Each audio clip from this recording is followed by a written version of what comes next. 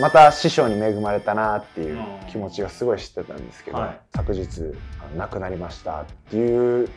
ことを言われてもう本当なんか涙流しながら練習してて言葉ではなく心で分かったっていう感じですよね。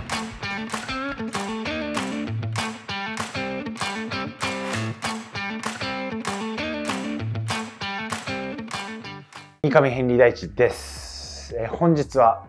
三上ヘンリー大地1歳から振り返る剣道引退から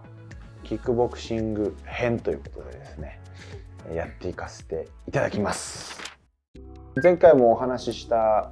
ように、まあ、大学2年生で剣道をやめて大学2年生の1月からキックボクシング始めました。打撃に関して言うと剣道がこれほど生きるのかっていうぐらい最初の動きはもうほんと剣道のまんまの動きであこれはいいわっていうことでまあその時一番最初に教わったのが湊太郎先生でもう私の心に刻まれた先生なんですけど、でもう湊先生とあの二人三脚でずっとキックボクシングアマチュアの時代ずっとやらせてもらってでアマチュアの試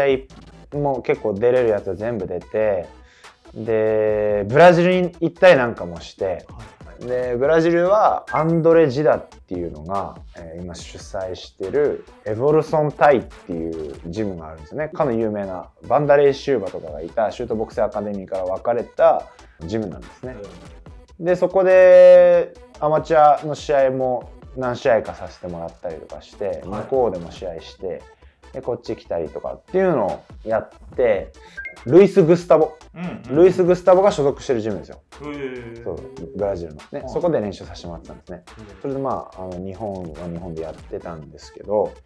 あの、まあ、ブラジルから帰ってきた時に本当に本当大好きで湊先生のことが。いつもは先生全然こう寡黙な人なんですよね。はい。会員さんにも全然喋んないしあの本当になんかとっつきづらい先生なんですけどぽつりぽつりとこう話すんですよね先生と。いつもそのしあの練習行って「あお願いします」って言って「来たんだねやろっか」みたいな感じでやってバーって一通り練習終わって、まあ、バンテージとかこうやってほどいてる時にこうぽつりとこう話をしていくんですけど「え剣道どこでやってたの?」みたいな。そういろんなちょっとちょっとちちょいちょいみたいなちょいちょい話すっていう感じだったんですけどそれは結構心地よくて。はなんかめちゃくちゃ話で盛り上がってわーっていう感じじゃなかったんですよい。はいでもなんかこうぽつりぽつりってやる会話のキャッチボールがすごい楽しくて、はいいつも行くのがすごい楽しかったんですよね。えーで、あの本当で試合になるとそういう寡黙な先生がセコンドで「ああいいよいいよいいよ」とかでめちゃくちゃこう声張り上げてやるんで、はい。そこのギャップもまたなんか目かけてくれてるなと思って、はい。すごい嬉しかったんですよね。なんかまた師匠に恵まれたなっていう気持ちがすごい知ってたんですけど、はい。でそんな矢先始めて1年とちょいぐらい経った頃かな。プロでやっていこうっていう話をしてた矢先にブラジル行ってきます。で帰ってきてで先生ブラジル行って頑張ってきましたみたいな感じで言ったらなんかこう調子悪そうで、なんか俺1週間前から腰痛いんだよねみたいなこう言ってて、えー、そうなんですかみたいな。ミットとか持ってないですか？ちょっとミット持てなくて会員さんがミット持ってないんだみたいな感じで言っててああそうなんですね。じゃあ今日は自主練で帰りますねみたいな感じで言ってでバックこうやって殴ったり蹴ったりとかしてたらなんかちょっとパンチだけでもいいからやろうよって言われてパンチのミット2ラウンドやらせてもらったんですね、はい。そしたら「うわめっちゃ強くなってるいいね」ってこと言って。で、あありがとうございますとか、えでもすぐ腰は痛そうで、痛てって言って、大丈夫ですか？みたいなの、大丈夫、大丈夫。次の日また来ますって言って、で、その時は練習それで終わって、バイト行って、で、帰って、次の日起きて、連絡して、その先生、あの腰の方大丈夫ですか？っていう風な、あのまあ、ショートメッセージだったんですけど、はい。送って、そしたら、あ、湊の弟ですっていうことで、弟さんから連絡が返ってきて、昨日亡くなりましたっていうことを言われて、で、ちょっと現実なのかどうかちょっと分かんなくて、もう一瞬、本当飲み込めなくてどういうことみたいな感じになって、何を返せばいいのか分かんないっていう感じになって、えどどういうことですか?」とかやってったらなんかこう昨日急に倒れて救急車へ運ばれたんですけど亡くなっちゃいましたって話になってあの葬式をやったんですけど、これは本当に現実なのかなっていう感覚にすごい襲われて先生いないんだと思ってでいつも練習してた子は練習できなくなって1ヶ月間ぐらい。一応バイトは行くんだけどバイト以外の時間はもう本当高温なんだって。あ先生本当にいなくなっちゃったんだみたいな。それをずっとこうぐるぐるぐるぐる考えるっていう、はい、宮先生の周りにいた人たちにあこれあのジムの鍵だから練習したい時いつでも使ってって言われて、はい、で鍵いただいてであの出入り自由になったんですね、はい、府中明太クラブ。まあジムはやってないんですよ。先生いないからジムはやってないんだけどずっと一人で練習してたんですよね。もうほんとなんか涙流しながら練習しててまあ辛い時期があったんですけど、はい、いろんな人のそのつながりで、まあ、別のジムに移籍することになってでそこからプロで、うん、K1 アマチュアとシュートボクシングのアマチュアはそこで出たのかな。移籍した先のジムで出させてもらってそこからプロでデビューしてでプロ4戦はあのそこのジムでやらせてもらったっていう感じですね。ただやっぱり宮戸先生とのこの思い出がすごい強くて、はい、キックボクシングってなったらもう他のこと全部忘れちゃうぐらい宮戸先生との思い出が強いですね。多分宮戸先生に最初教わってなかったらもしかしたら続けてなかったかもしれないですね。こう自分の中で本当にこのままでいいのかなっていう時期に、宮津先生との練習が楽しかったし、宮津先生との話が楽しかったからだから続けられたっていう側面があるし、はい、バイトの時間までずっとジムにいていたんですよ。だから朝の朝の5時にバイト終わって6時ぐらいに家帰って1時にはジムに行ってでそこから7時まで練習して8時に六本木向かってで9時から出勤開始みたいな。5時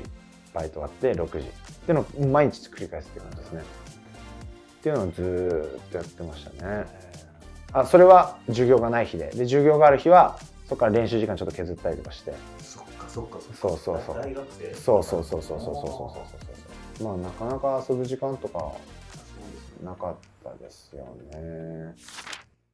湊先生が、まあ、亡くなられてしまってその後心ここにあらずみたいな状態にはなってた、はい、もう想像たやすくできるんですけど、はい、もう一度こうやろうっていう気になった何かきっかけみたいなきっかけは特になくて、はい、ずっとそのジムの鍵を渡されて、うん、でジムで練習していく中で勝手に気持ちの整理がついたっていうか、うん、あもう本当に先生いないんだなっていつもだったら電気ついてるジムが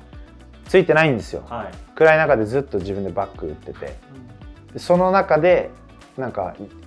自然とこう認識してたとかああもう先生はいないんだ。じゃあもう俺一人で頑張んないといけないんだ。みたいな感じになっ